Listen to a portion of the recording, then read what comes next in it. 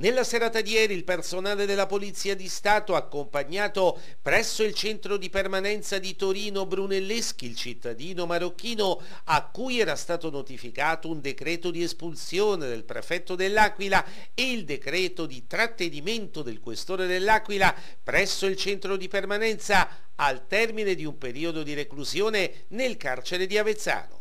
Lo straniero era stato condannato dal Tribunale di Avezzano alla reclusione di sei mesi per i reati di resistenza pubblico ufficiale e ricettazione.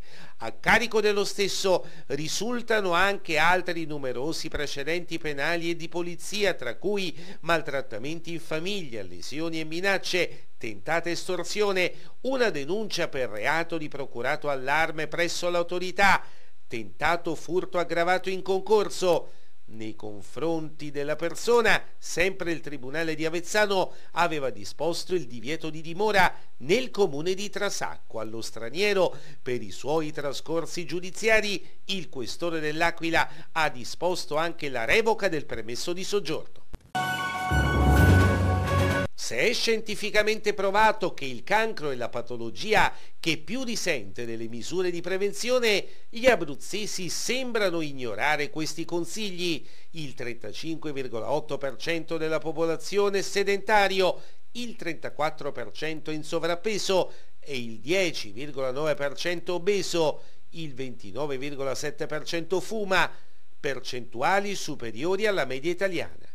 I dati sono stati illustrati in occasione della presentazione del quarto report del registro tumori della regione Abruzzo.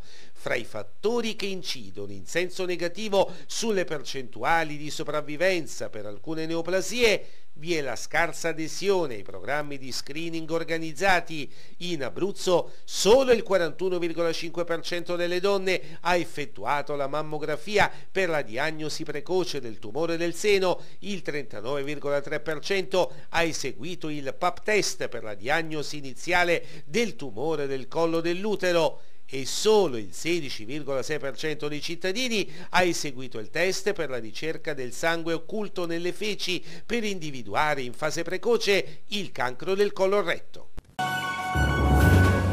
È stato inaugurato questa mattina a Sulmona il primo distributore per auto elettriche della Valle Peligna e ubicato nel parcheggio dell'Hotel Meeting Santa Croce. Ne parleremo tra poco nella rubrica Il Punto.